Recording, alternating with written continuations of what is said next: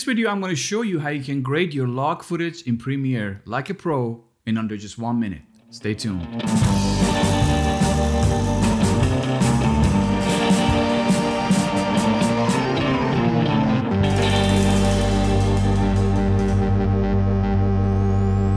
What is happening everybody? It is your boy Sean Alami and whatever you are, you're having a wonderful day. First of all, thank you guys for tuning in. This channel talks about anything that has to do with filmmaking and photography like many other channels that you've already subscribed to. The only difference is I make this whole tutorial thing look good.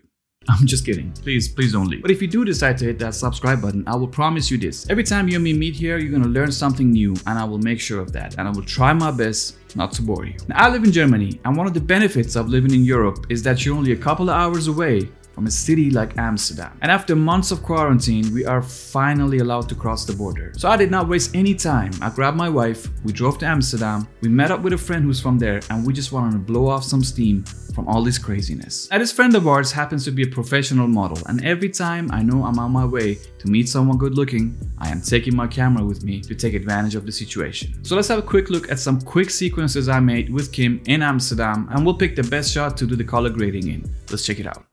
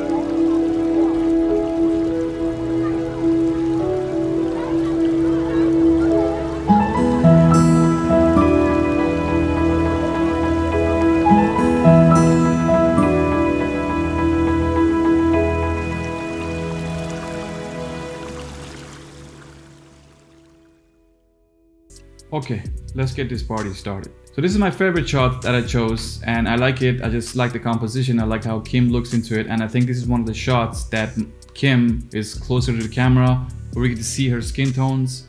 So this would be our example to go with. So I've brought in an adjustment layer. And the first thing I'm gonna try to do is to get this thing out of a log look.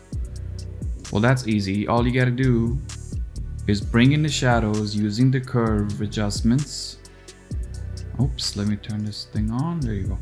Now looking at the waveform, you gotta watch out.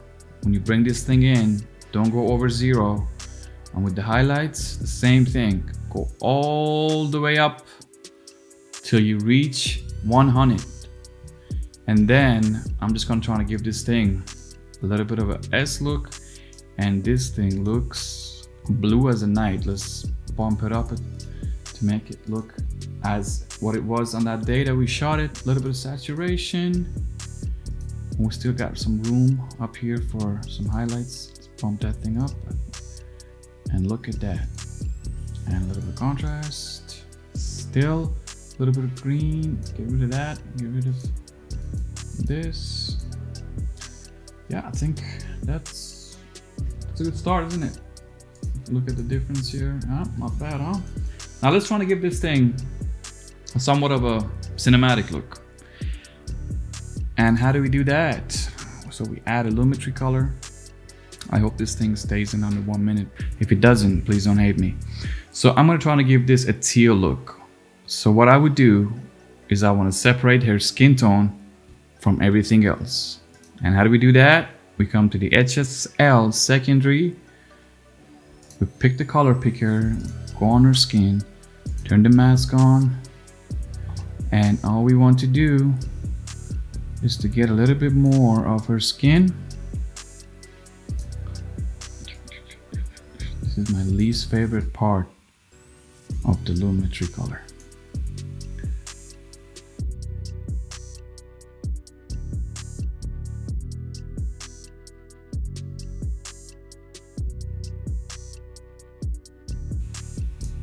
Now let's denoise it, make it a little bit blurry. I think this will just do the job. And reverse, get rid of the mask and let's just bring in the beautiful teal color.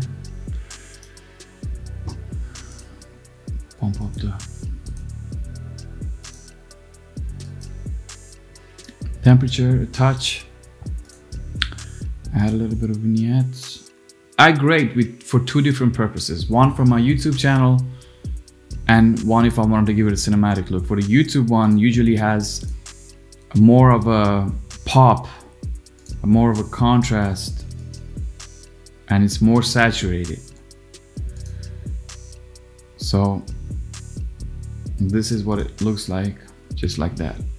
Now if I want to make this thing um, a more of a cinematic look, what I would do, I would I will add in my bars